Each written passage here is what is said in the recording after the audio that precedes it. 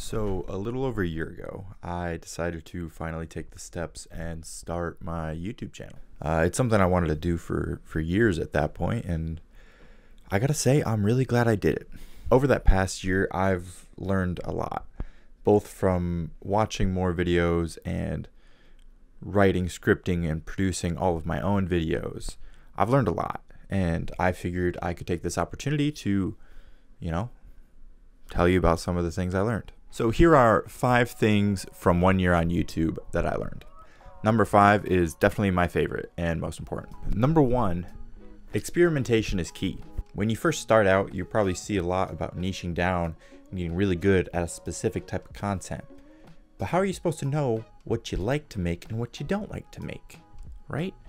So I have made not a lot of different types of content, but enough to have more of a knowledge of what I like. All right. For example, I made a New Year's resolution video where I just sat and talked to the camera.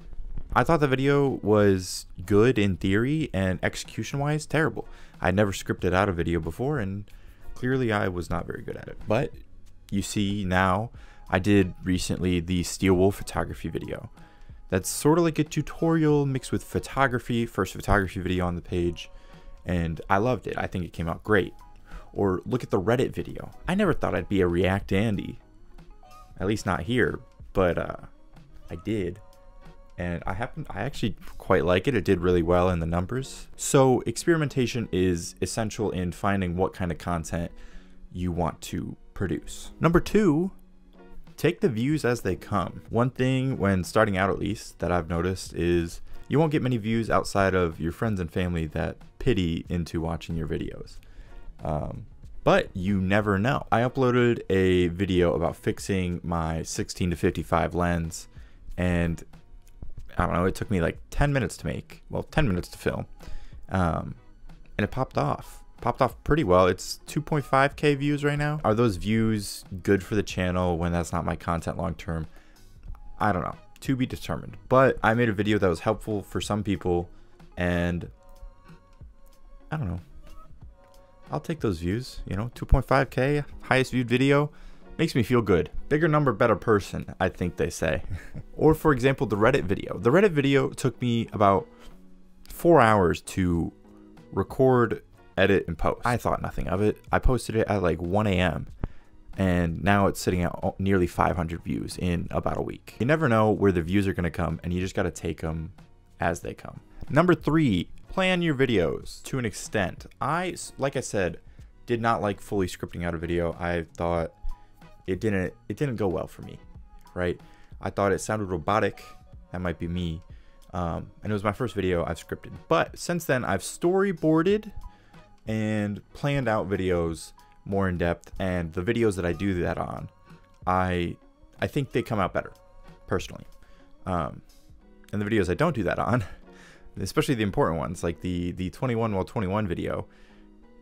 I didn't plan that at all uh, and i wish i did because i think it could have been a lot better than it was.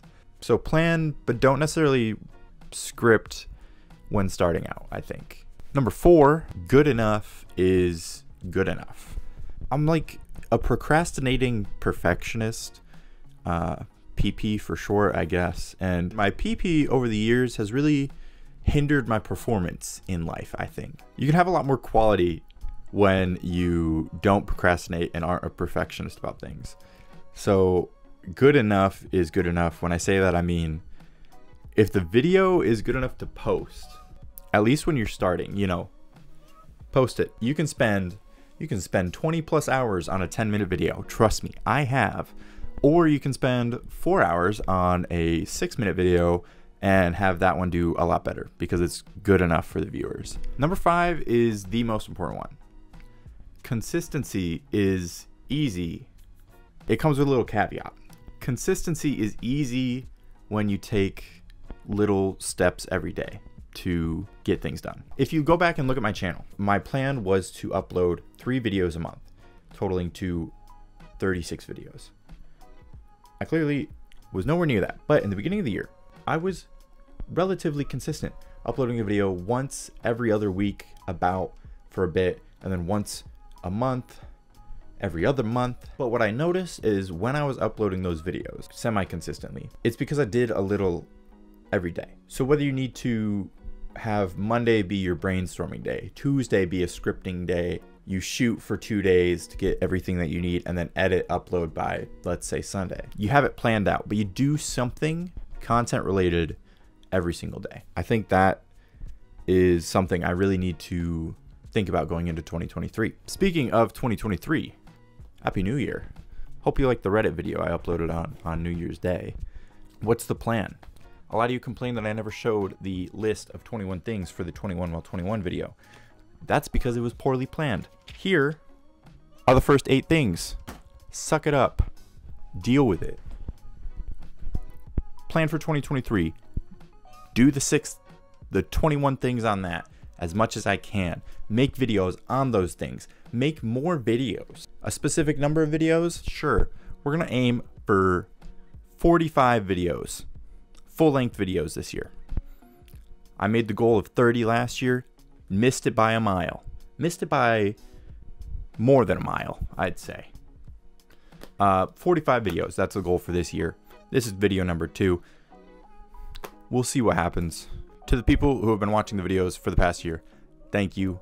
Uh, hopefully, I can bring some more decent content in year two, grow this channel, make good videos, and maybe enjoy life. You know, I think we could all use that. Thank you.